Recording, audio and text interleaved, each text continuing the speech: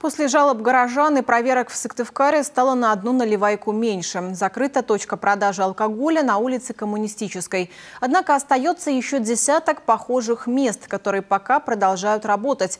Об этом сегодня говорили на общегородской планерке в мэрии. Как отметил представитель администрации, управление МВД по Сыктывкару в теории должно ежечасно проверять такие места. Но это удается не всегда, так как патрули выезжают на вызовы.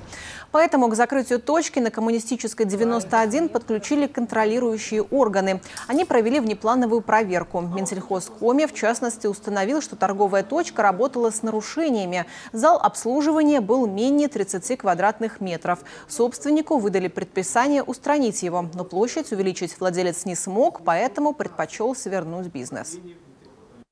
Дело в том, что действительно мы создали некие ограничения, в рамках этих ограничений пытаемся воздействовать против этих негативных явлений, но вы сами понимаете, у нас предприниматели, вопрос, э, люди, они э, такие э, с определенной предпринимательской жилкой, мыслью, они смотрят, как обойти те ограничения, которые мы ввели. Но этот процесс мы будем продолжать, будем смотреть, будем анализировать, будем смотреть жалобы граждан. Как отметил мэр Сыктывкара Владимир Голдин, сейчас в городе 231 объект общественного питания, который реализует алкоголь.